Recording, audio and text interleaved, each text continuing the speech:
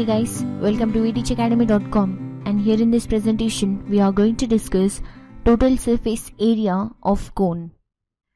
So in this video we are going to discuss this topic under three different sections. So coming to the first section where we are going to deal with the introduction of cone and in the next section we are going to discuss about the formula to find total surface area of cone and in the last section, we are going to discuss few examples on that formula. So then coming to the first section of introduction. Now let me define what is a cone. So here, cone is a solid that has a circular base and a single vertex. And here in the diagram, you can able to see an solid object which has a circular base and also a single vertex. Then such object is called as a cone. And then if this vertex is over the center of the base, then such cone is called as right cone. And if it is not, then such cone is called as oblique cone. And then coming to the total surface area. So total surface area is nothing but the area of all the sides of an object. Here it includes the areas of top and a bottom surface. So we can say total surface area is equal to lateral surface area plus area of the base. And here this area is called as lateral surface area of cone which is given by the formula pi rl square units and whereas area of the base. So here base is in the form of a circle so area of base will be equal to pi r square square units. And then by adding both the areas we get total surface area. So here we get pi rl plus pi r square and then writing pi r as a common factor we get pi r into l plus r square units as the total surface area. And also by writing the value of l which is under root r square plus h square in the formula we get the total surface area of cone as pi r into square root of r square plus h square plus r and then coming to the next section where we are going to deal with examples. So coming to the first example, here the base area is 616 centimeters square and the height is 48 centimeters. So find total surface area. So here base area that is the area of circle which is 616 centimeters square. So we can write this as pi r square which is equated to the given base area that is 616 and then transferring the value of pi we get r square is equal to 616 into the reciprocal of value of pi. So here we get 7 by 22 and then simplifying we get 22 one time is 22 and 22 28 times is 616 and then multiplying both the terms we get the result over here as 196 so we get r square is equal to 196 so we can write r equal to square root of 196 and we get the result as radius is equal to 14 centimeters.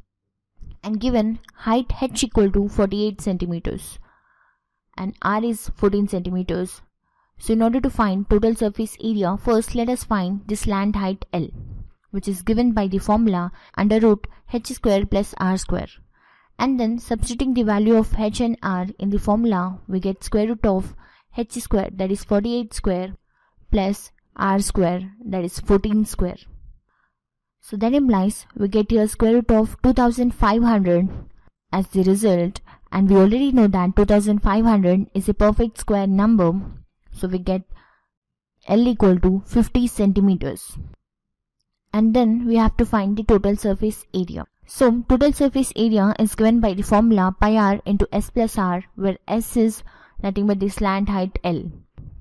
And then writing all the values we get pi that is 22 divided by 7 into the radius 14 into slant height 50 plus radius 14. So we get 50 plus 14 as 64 here and then simplifying we get 7 one time is 7 and 7 two times is 14. So by multiplying all the terms we get the result over here as 2816 centimeter square as the total surface area. And then coming to the next example.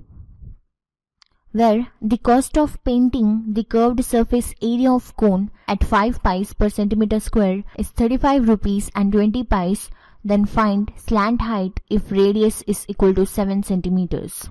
So cost of painting the curved surface is 35.20 at 5 pies per centimeter square.